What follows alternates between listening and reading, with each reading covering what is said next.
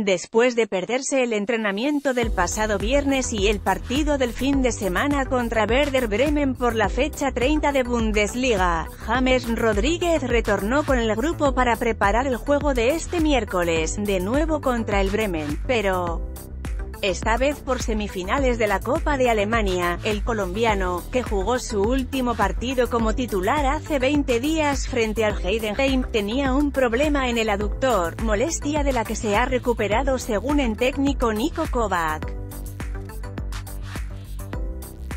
Mats Hummels y James Rodríguez estuvieron de vuelta hoy en el entrenamiento, todo está bien con ellos comentó el DT en la rueda de prensa previa al juego contra Werder Bremen del próximo miércoles 2-15 de la tarde, hora colombiana. La Copa de Alemania es uno de los dos títulos por los que está peleando el Bayern Múnich en esta temporada. La llave contra Werder Bremen será a partido único en condición de visitante en el Weserstadion de Bremen. La otra semifinal la disputarán este martes Hamburgo y RB Leipzig, Let's Blockades. Guay.